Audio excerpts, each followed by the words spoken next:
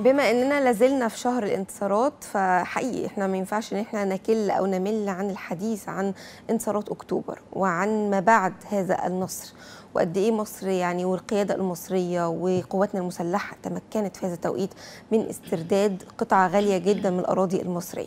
بعد انتصار أكتوبر مصر كمان قدرت إن هي تسترد طابة، طابة مهما اتكلمنا عنها وعن موقعها الجغرافي وجمالها والطبيعة الخلابة وقد إيه هي منطقة سياحية من الدرجة الأولى مش هنقدر يعني نقول ده في حلقة ولا اتنين ولكن خلينا نقول إن طابة مكان ليه قيمة كبيرة جدا جدا سواء من الناحية السياحية من الناحية الجغرافية. وبالتالي مصر سعد بشتى الطرق في هذا التوقيت إنه تسترد هذه المنطقة. ومصر في الوقت ده وزارة الخارجية يمكن قدمت العديد من الوثائق والخرائط اللي بتثبت أحقية مصر في هذه المنطقة تحديدا.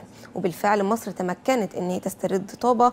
ويعني بنفخر طبعا بإن إحنا أولاد هذا البلد اللي يعني ما بيتخاذلش ابدا في إن هو يدافع عن حقه أو إن هو يسترد حقه بشكل أو بآخر.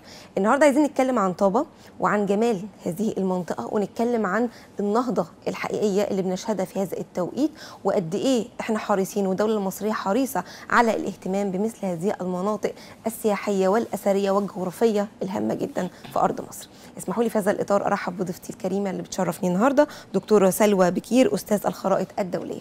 أهلا بحضرتك يا دكتور صباح الفل على حضرتك.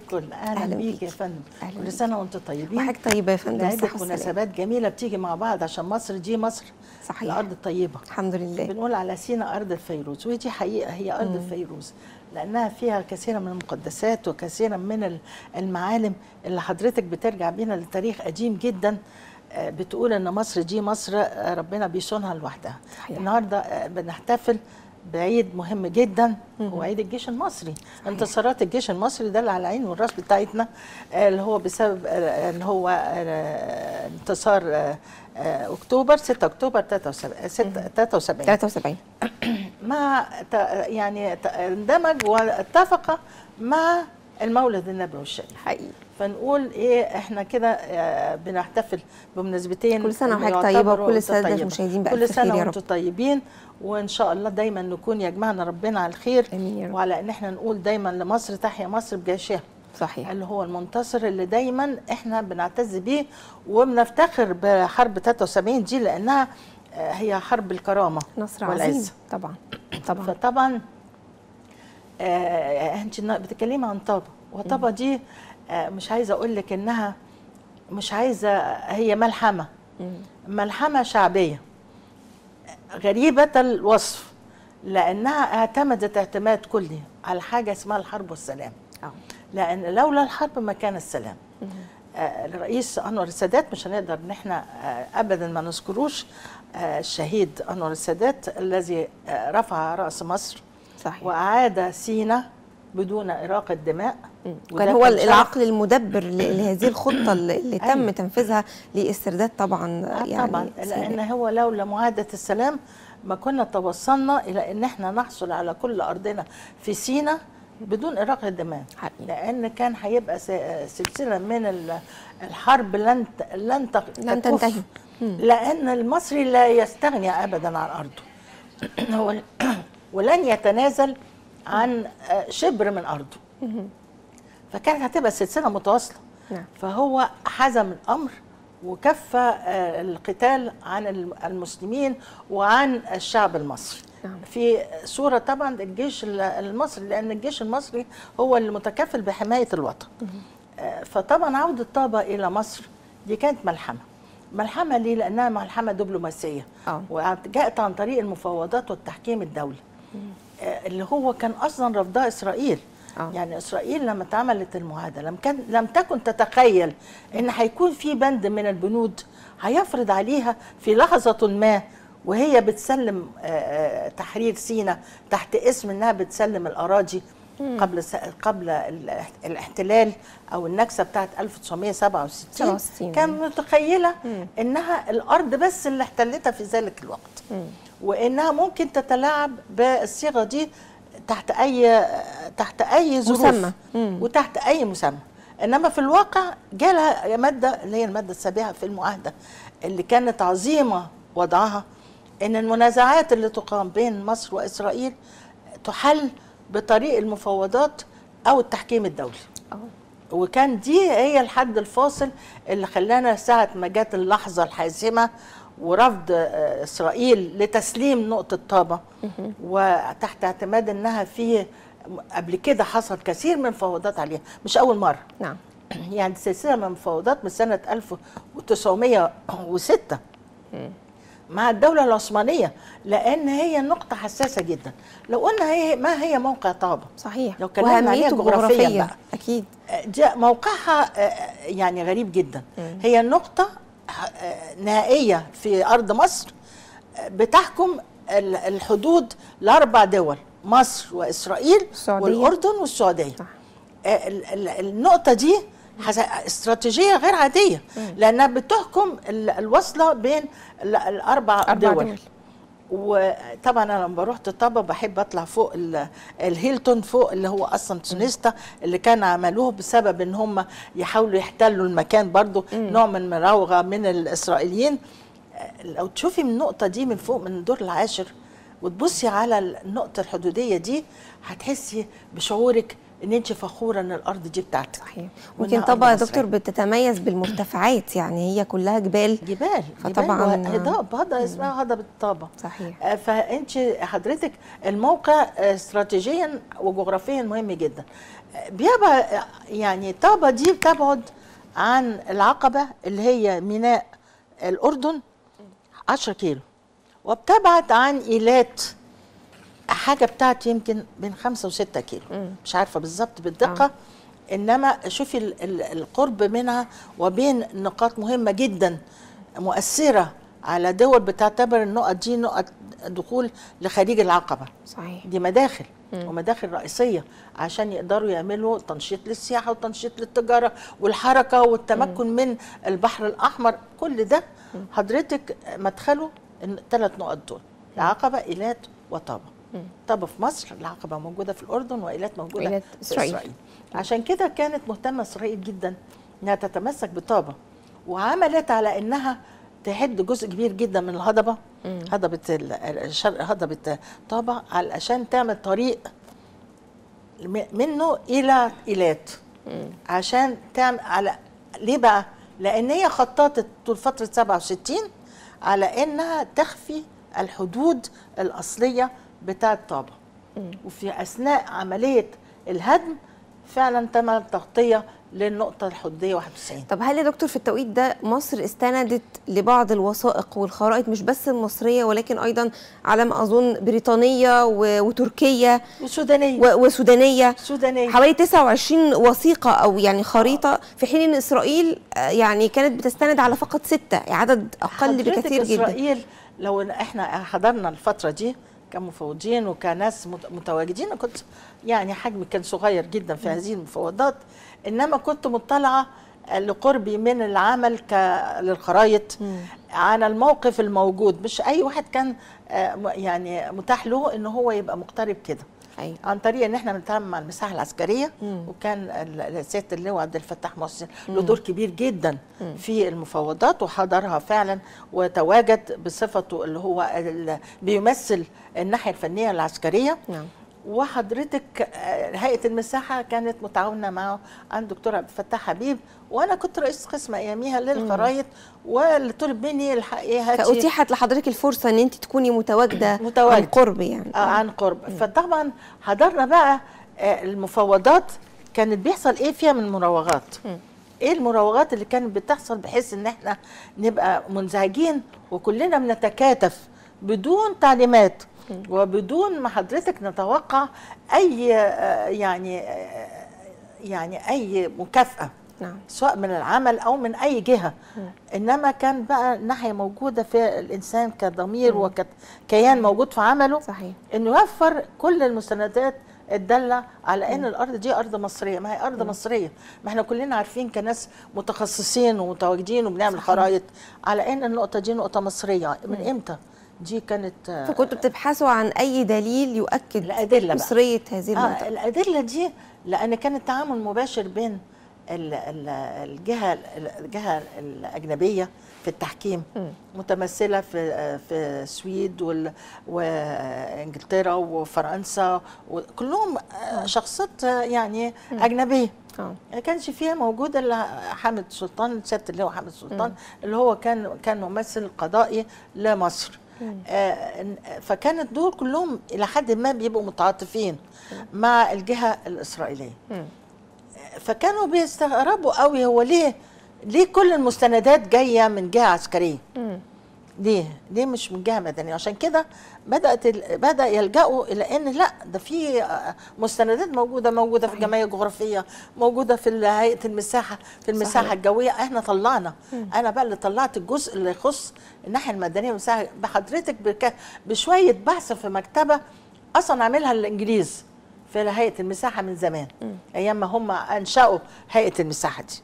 فكان هم بيهتموا جدا يبقى في مكتبة للفنيين والعاملين في المساحة.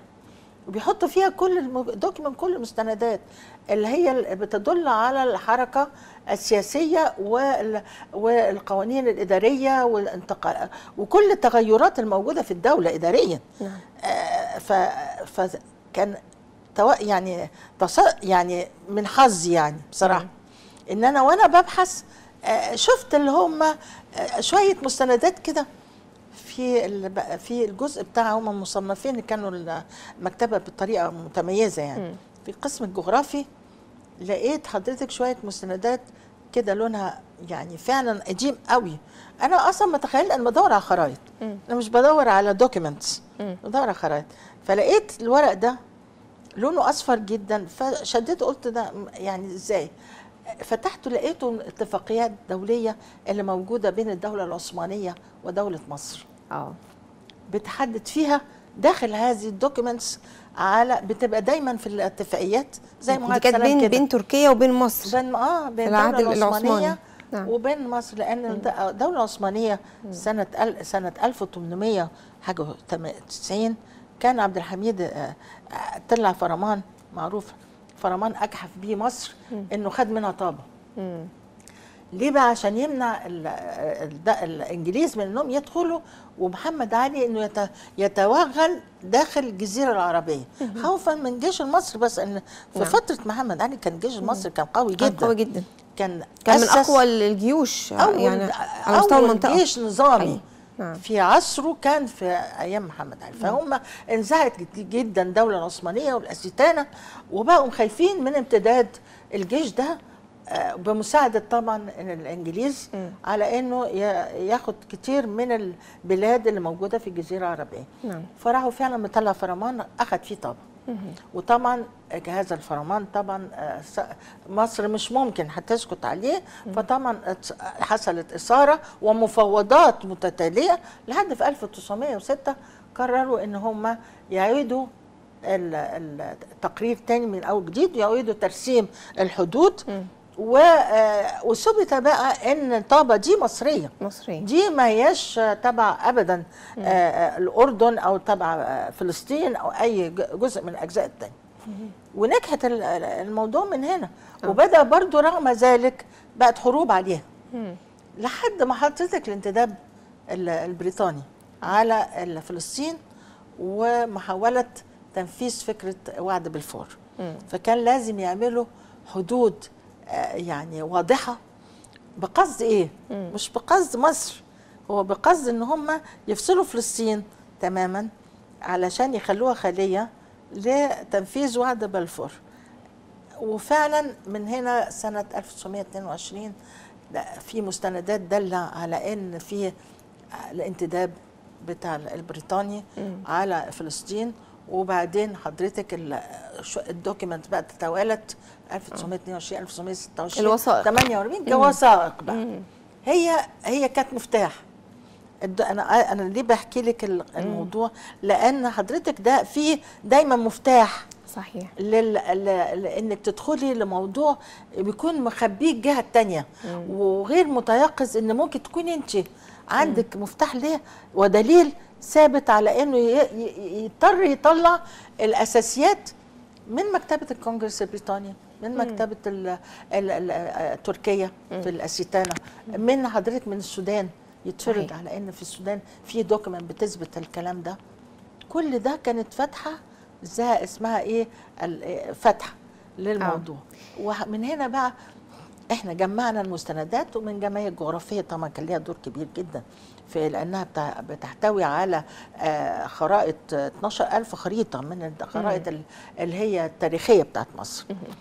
آه، حضرتك هي عشان كده بقول إنها ملحمة. نعم. ملحمة شعبية علمية. احتوت على الجغرافي والتاريخي واصحاب القانون. يعني أنا ما أقدرش أنسى ابدا الاستاذ الدكتور المفيد شهاب. صحيح. ولا أنسى لبيب لبيب يونان. ولا حضرتك أنسى ابدا حضرتك ال- ال- ال- اللي هو عبد الفتاح محسن اللي لولاه ما كانت نفذت كل القوانين على أرض مصر بالنقطة 91 دي فين لأن سيادتك تخبيتها كانوا معتمدين حتى لو حصل تحكيم. دولي. بما حصل من مر- مرا- مراوغات مراوغات. ومحاولات لأنهم يساوموا مصر. يجي مرة يقولوا لها إحنا هنأجر لك هنأجر آه 99 عاما آه، طابه ن- هنأجرها. وحضرتك وبعدين كده ابقوا خدوها. آه كل ده محاولات عشان يبعد المسافة ويقدر يسيطر على المكان لأن هو محضر وأكتر. نفسه إن هو يبقى له نقطة دخول مستقبلية لل- للعقل. طيب. طب يا دكتور بقى من الفترة دي وحتى هذه اللحظة إحنا برضو بنشهد في في هذا الوقت طفرة حضارية ونهضة حضارية كبيرة. في طبعاً. الدولة المصرية في عهد الرئيس عبد الفتاح السيسي ماذا عن التطور اللي طرأ على طابة وماذا أيضا خليني أخد حاجة كمان عن المشروعات الحديثة أيوة. المقامة في مصر في كل عامة. مكان بشكل عام. حضرتك طبعا آه، طبعا ليها تاريخ تاريخ هي تاريخيا هو أنشأها صلاح الدين الأيوبي مم. وعمل فيها قلعة اللي هي قلعة آه، صلاح الدين. صلاح الدين الأيوبي نعم. في جزيرة فرعون. ودي بتعتبر نقطة تاريخية وجزء تاريخ مهم جدا. في حاجة اسمها الأنباط الأنباط دول كانوا من الأردن كانوا بيشتغلوا في التجارة الحج كانوا بياخدوا آه، آه، اللي هو وادي الطويبة. ياخدوه اللي هو داخل النقب بقى اللي هو بيدخل صحراء النقب. كانوا على طول مستمرين على الخط ده أقاموا طول أقامتهم في الأماكن دي آثار الأنباط. ودي آثار آه، تاريخية قديمة جدا لسه ما زالت موجودة حضرتك في نويبع وموجودة في طابة وفي مداخل كتير عشان كده في أقول لك في ال- ال- السفريات اللي هي الصحراوية. اللي بتطلع كرحلات السفاري.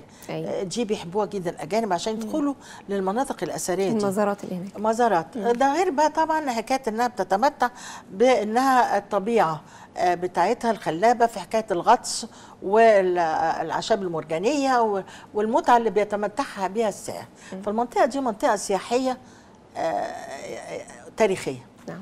الاهتمام بيها سياحيا مهم جدا لأن آه، أنا مش عايزة أقول لك إن المنطقة دي مقدسة بالنسبة للشعب الإسرائيلي. دائما تلاقي متواجد في طابة. بيتواجدوا هناك. آه، آه، يعني ال- الإسرائيليين. آه، اللي هم بيقولوا يقولوا إحنا عرب 48 آه، إنما هم حاملين الباسبور الإسرائيلي. في حركة كبيرة جدا من الأردن عن طريق العقبة وعن طريق المنطقة دي. فطبعا السياحة مفتوحة. أيوه. ومطلوب إن إحنا نعمل لها تنشيط بس في مجموعة استثمارية بتعاني اسمها المجموعه الاستثمارية بتاعة طابة ونويبع مم. المجموعة الاستثمارية دول بينشطوا ج- علشان يحيوا المنطقة, المنطقة ويستفيدوا. منها. نعم. علشان دي ما فيش زيها في العالم. صحيح. يعني صراحة طابة كمية هم عندهم مائلات. مم. يعني قريبة جدا منهم. ونفس على الخط آه. إنما مية سبحان الله. المية عند طابة مختلفة تماما. سبحان الله. آه. مختلفة في جمالها وفي الشعاب المرجانية اللي موجودة فيها وفي الأمان. وطبعا مصريين في الهوسبيتاليتي تحس إن المصري آه، كريم في الخلق وفي صحيح. في التعاملات. فبيبقى في نوع من الراحة في في التواجد في المكان. فطبعا كانوا بيطالبوا طبعا بعملية إن يبقى في آه، تسهيلات مم. أمنية. وتسهيلات في عملية الحركة في الانتقال من ال- باليخوت البحرية لأن رياضة اليخوت البحرية دي مهمة جدا في السياحة بالنسبة للمنطقة دي. علشان تتحرك من آه، ولكن بشكل عام محتاجين يكون في رواج أكتر أيوة،. للسياحه في هذه لأن المنطقة السياحة- كم... كم... كمثيلاتها بقى زي شرم الشيخ ودهب. آه، أيوة وهكذا طبعاً، يعني مناطق. المنطقة. آه، محتاجة حضرتك إنها تدعم تدعيم بلون جديد مم. علشان يحصل عملية تطوير صحيح. وتنميه هي فيه فيها لأن هي يعني منطقة جاذبة للسياحة بس يعني محتاجة عملية تدعيم من الدولة علشان تخفف شوية الناحية اللي هي السفريات بقى نعم. حركة الإجراءات للسفر. طيب. آم، فيما يخص المشروعات ال- ال- الحديثة والمطورة والنهضة الحضاريه اللي بنعيشها حضرتك يمكن قبل الهوا طلبتي مني إنك عايزة تتكلمي عن مشروعات الطاقة آه. والكهرباء تحديدا نظرا لأهمية هذه المشروعات آه. في هذا التوقيت. ده مهمة جدا. أنا عايزة أقول لك إحنا داخلين على مؤتمر عالمي آه، غير مسبوق اللي هو كا- كاب آه، 27 حضرتك آه، إحنا كتير ناس يقول إيه التغيرات المناخية دي؟ يعني إيه إيه أهميتها يعني؟ ما ما المناخ موجود. في ناس متخيلة إنه يعني ال- الإعلام وإن الدول مديه مدية الموضوع أكبر من حجمه ولكن هو لا، فعليا لا، هو الموضوع مش بسيط. لا. حقيقي. ده في الواقع هو موضوع هام جدا. اللي بيدرس كويس جغرافيا وجيولوجيا وداخل في مجال الأرصاد مدرك الجوية مدى خطورته. آه، بي- بينزعج ويحس إن الموضوع ما هوش حكاية اعلام ولا حكاية إن إحنا آه، عايزين الدول تيجي أو نعمل تمهيد للسياحة. أو كل هذه البنود طبعا مهمه إنما الأهم من ده كله إن إحنا فعلا نواجه مخاطر ما يعرف بالتغيرات المناخية اللي ثبت تواجدها لو الواحد بيتابع الانهيارات المناخية اللي حصلت على المستوى العالمي في أوروبا في كندا في أمريكا في اليابان من زلازل وبراكين وتحركات القشره الأرضية. آه، المتابع بقى هيكتشف أنت حضرتك الجليد بي- بيذوب آه. في القطب الشمالي والقطب الجنوبي بتتغير. تواجدت على المستوى العالمي محيطات. جديدة. في المحيط الجنوبي دلوقتي. متج... ما كانش موجود. بقى المحيط الخامس. كل هذه التحولات والتطورات دي نتائج طبيعية للتغيرات المناخية. لأن حصل حصل طفرة غريبة جدا. إن في درجة حرارة مرتفعة جدا حصلت على المستوى العالمي. الاحتباس ما يعرف بالاحتباس الاحتباس الحراري. الاحتباس الحراري ده كان نتيجة إيه؟ نتيجة ان إحنا عدد السكان في تكنولوجيا عالية جدا. في اختراق لأعمال تكنولوجية للغلاف الجوي الصواريخ والفضاء وكل هذه الأعمال عمل بت- بتطلع كميات من النفايات والاحتراقات والانبعاثات اللي هي بتيجي من الأرض تسببت في ارتفاع هذه الدرجة. طب تيقظوا ليها لما حصل بقى بظهور شوية الكورونا؟ شوية كورونا فبدأ يدرسوا دراسات فاكتشفوا من خلال كورونا ومحاولة محاربتها إن في كارثة تانية اللي هو إن في درجة حرارة عالية جدا نعم. بتصل على الكره الارضيه وإحنا مش واخدين بالنا منها وثاني أكسيد الكربون عالي جدا على مستوى الغلاف الجوي نقطة الأوزون بتتفتح والأكسجين بيتسرب آه. يبقى حضرتك يبقى في مهمة لازم يتخذها عالميا عشان حماية البشر إن إحنا نزود الأكسجين اللي موجود في الكرة الأرضية. صحيح. أنا ليه دخلت لك المدخل ده على الطاقة؟ لأن في طاقة اسمها الطاقة الأحفورية. مم.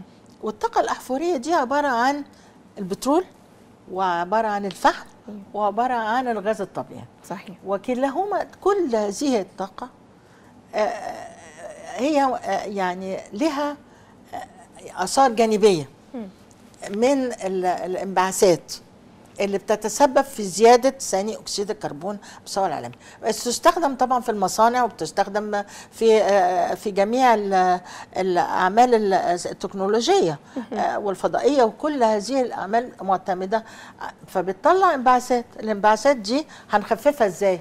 صحيح عن طريق اسمها الطاقة المتجددة مم. والطاقة المتجددة دي طاقة طبيعية. المفروض إنها هت فعلا هتعمل تغيير جذري في البيئة. الطاقة المتجددة دي عبارة عن إيه؟ الطاقة الشمسية. وإحنا في الحزام الشمسي للكرة الأرضية. يعني عندنا أحسن آه، موقع لنا بالنسبة للشمس عشان نستفيد. من درجة الحرارة بتاعت صحيح. الشمس على الألواح الجديدة اللي هي الألواح بتاعت الطاقة الشمسية. إن إحنا نغير النظام ونبقى بنستمد طاقتنا الكهربائية من الطاقة الشمسية. صحيح. بدل ما حضرتك نبقى الطاقة الكهرومائية طبعا معروفة عندنا السد العالي وعندنا كثير من السدود والطاقات اللي هي ال- المعروفة إنما كان لازم نستخدم الطاقة المتجددة.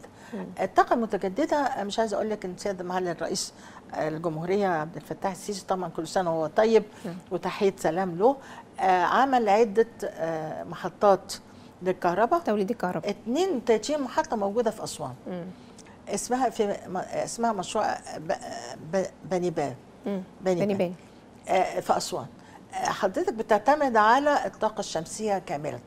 وفي أمل إن المحطات دي آه، طبعا ده غير أسوان كده في محطة حضرتك في الغردقة في محطة موجودة في كومومبو في بورولوس في مناطق متعددة في في المحافظات. عشان يعمل شبكة صحيح. متكاملة من محطات يغير الكهرباء. بيها الرابط الكهربائي. الرابط الكهربائي بتاعنا معتمد على الطاقة على ال على ال على ال على ال الرابط الهوائي. إنما في دلوقتي أسلوب تاني اللي هو عن طريق الارضي الخطوط الأرضية. أيوه. الخط الأرضي ده مش عايزة أقول لك إن هو استعداد كبير جدا مشروعات لعمل تصدير للكهرباء لأن مصر مم. حصل لها طفرة غير عادية في توليد الكهرباء في مصر يعني ممكن نشهد الفترات القادمة بوفرة تمكننا من التصدير كمان يا ده دكتور في الواقع هو تقريبا في مشروع مع قبرص واليونان مم. على امتداد اللي هو الطاقة الكهربائية دي عن طريق اللي هي ال- الارضي مم. آه، عن طريق البحر الأبيض المتوسط لنقل الطاقة الكهربائية مم. ومش عايزة أقول لك إن هي دي الوسيلة المستقبلية للربط بين أوروبا وبين أفريقيا. أيوه.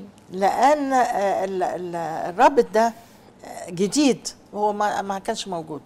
لأن بتعتمد على الرابط الهوائي والرابط الهوائي ده أو الاسلاك الك- الكهربائية اللي إحنا بنشوفها دي آه، ما تنفعش إن أنت ت- ت- تخترقي بيها ال- القارات. إنما الارضي ممكن عن طريق مواسير يعني المواسير الأرضية. آه، آه، كل هذه الأعمال مشروعات حديثة آه، لم يسبق أنها مصر اخترقتها. لأن هو ده اللي هيوفر لنا طاقة كهربائية جديدة هتسمح لنا بالتصدير. وفعلا في اتفاقيات بين مصر والسعودية على تصدير الطاقة الكهربائية. وبيننا وبين الأردن ودي قديمة. يعني أصلا في الرابط الهوائي ده بين مصر وبين الأردن. علشان آه، آه، نقل ال- ال- الكهرباء. طب هل يا دكتور المشروعات دي ممكن يكون ليها تأثير آه، على برضو قطاع السياحة محليا و- طبعا وعالميا لأن وهكذا؟ حضرتك بيخلينا عندنا طاقة كهربائية متوفرة. علشان عملية توفير كل إمكانيات ال- الفنادق مثلا. مم. فنادق تبقى متوفر عندها طاقة كهربائية كفاية. صحيح. آه، يقدروا يستمدوا بها إن هم آه، يقوموا بمشروعات داخلية. آه، بتزود مشروعات السياحة. الحفلة اللي بتحصل في أسوان دي اللي موجودة اللي هي متميزة جدا. طبعا دي بتعتمد على إيه؟ على الطاقة الكهربائية الموجودة في أسوان أسوان. في المحطات اللي هي غير عادية سواء عن طريق الطاقة الشمسية اللي هم مضيئين بيها. الجمال اللي انت تشوفيه في حفلة آه، لمطرب إيطالي آه، وأوبرا وحاجة كانت رائعة بصراحة. آه، الكلام ده ما هوش يعني لا ما نقدرش نقول إنه مش مهم أو هو إن هو حاجة مبالغ فيها. في توقيت في أزمة اقتصادية مثلا. أيوة. لا ده الحاجات دي مهمة جدا عشان نتخطى بيها الأزمات الاقتصادية. لأن لو ما كانش يحصل تنشيط بصورة مناسبة للعالم آه، مش على مش مش فكرنا بقى اللي لسه محتاج توعية. إحنا برضو الفكرة الشعب المصري محتاج لتوعية كثيرة لتقبل ما هو جديد. صحيح. فدي طبعا مشروعات كلها آه، ليها قيمتها وليها مميزاتها لازم نتقبلها. فأنا م- مش عايزة أقول لك في الطاقة ال- آه، في الطاقة اللي جاية عن الرياح. آه، في محطة صحيح. زعفرانة. من المناطق الشهيرة جدا باستخدام طاقة الريح ما- طاقة كهربائية عن طريق سرعة الرياح في المنطقة وليها دراسات غير عادية لأن أنت لازم تعملي على ارتفاع معين المشروع وطبعا بيتضارب شوية مع الطيران آه. ومع الدواعي الأمنية فبتبقى دراسة عميقة ت- صحيح. عملت ونجحت اختيار مناطق معينة. يعني. يمكن فيها تطبيق المشروع. آه، معالي الرئيس مخصص 7 مليون 7000 آه، فد 7000 آه، آه، كيلومتر مربع من الأراضي لل- لمنطقة ال- الرياح ال- اللي هي بتعتمد على الرياح. طاقة الرياح. طاقة الرياح. نعم. موجودة في أس... في الزعفرانة وموجودة على خليج السويس وموجودة في أسوان. لأن دي مناطق طبعا الخبراء توصلوا إن دي مناطق مرتفعة وارتفاعات معينة. مش هتؤثر تأثير كبير على ال- ال- الطيران أو أي ن- نواحي فتم اختيارها وتحديدها. دي مشروعات ما كانتش موجودة. صحيح. ودي المشروعات دي دي مستقبلية.